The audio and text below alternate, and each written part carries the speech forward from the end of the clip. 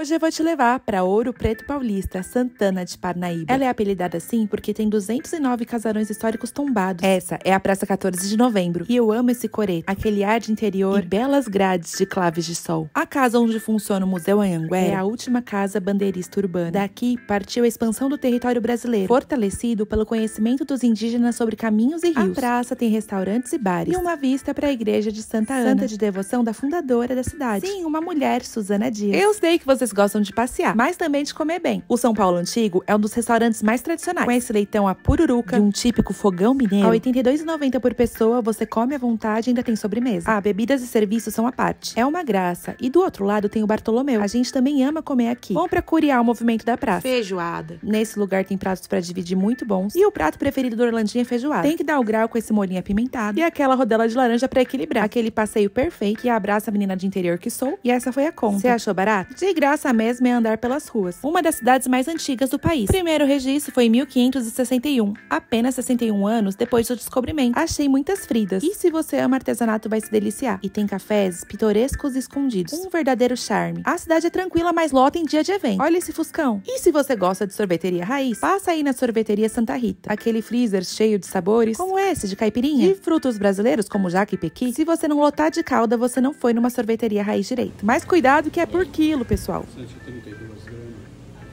Ah. Ah, gente, experiência dessa por uns 9 reais? Ah, aquela mistureba de sabor, aquele chocolate que endurece. Tem muita coisa pra dizer da cidade. Aqui, por exemplo, acontece aquele famoso espetáculo da Paixão de Cristo, um dos maiores teatros a céu aberto do mundo. Também é a terra dos tapetes coloridos de serragem, no Corpus Christi. Compartilha sobre esse bate-volta perfeito e siga a gente pra mais dicas e experiências pelo mundo.